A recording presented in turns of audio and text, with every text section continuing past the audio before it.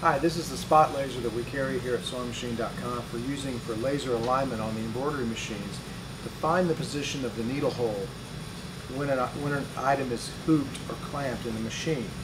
It's a battery powered AAA laser beam and you can see the spot laser that shines on me right here. The batteries mount in the system right here. The head of the laser is on the end of this pole here and you can slide it in and out once you get it on here and it goes in and out like this it pivots left and right like this. So once you get it into a position that you want it to be you can lock it down in that position.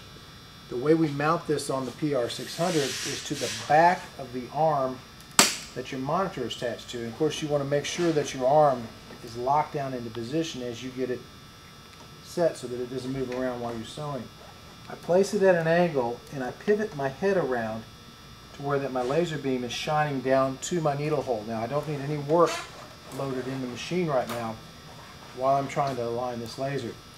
It's a little tricky. It'll take you a minute or two to actually get it to where your beam is actually focused on the needle hole and that's by pivoting and moving in and out until you get it right in the right location.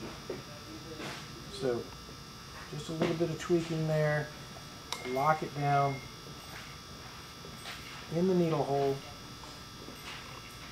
Just like that. Load your material up and your spot should be right above your needle hole. Notice how my dot covers my needle hole.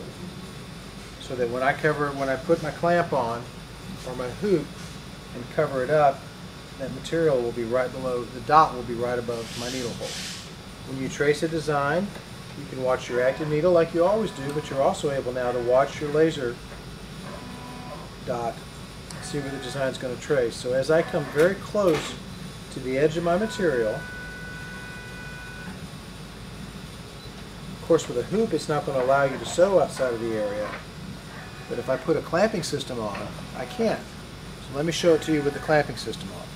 Also, notice that even with red material, you can still see the laser dot. Okay, now here's the laser light.